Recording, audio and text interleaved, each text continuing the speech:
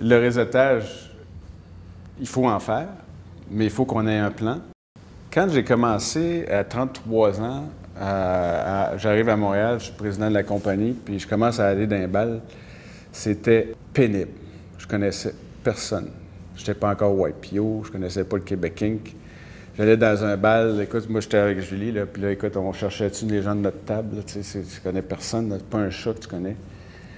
Année, tu vas un deuxième bal, puis là, tu as rencontré du monde du premier bal, ah, Pierre, nan, troisième bal, quatrième bal. Aujourd'hui, je rentre dans un bal à Montréal, écoute, euh, je vais jaser avec 75 personnes dans n'importe quel bal, parmi les 15 balles que je fais. C'est facile, tu connais tout le monde, là, tu fais du vrai réseautage. Pourquoi je te dis ça? C'est parce que si j'avais dit, écoute, ça à rien d'aller dans ces balles-là, je perds mon temps. Mané, je savais qu'il fallait que je le fasse, puis un année que je, développe mon réseau dans le Québec King Montréal, parce que c'est important pour moi. C'est de l'énergie euh, bâtir un réseau, puis c'est dur, c'est pas facile.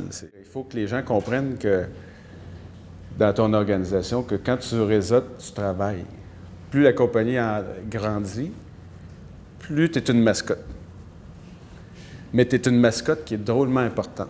La qualité du groupe est exceptionnelle.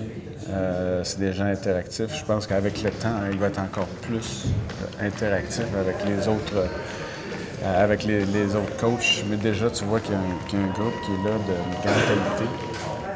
Des gens extrêmement intelligents qui savent de quoi tu parles, parce que ce que tu parles, c'est dans le fond, c'est leur, leur vie.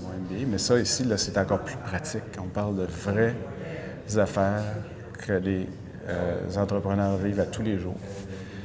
Que moi, je traite juste d'un petit sujet, mais quand ils vont passer les, 25 ou 30 euh, coachs ou, euh, présentateurs, ils vont avoir une, expérience inouïe par osmose de, gens d'affaires qui ont vécu toutes ces heures-là et qui disent Écoute, faites pas ça, s'il vous plaît, de grâce. Vous êtes capable de faire mieux que ça.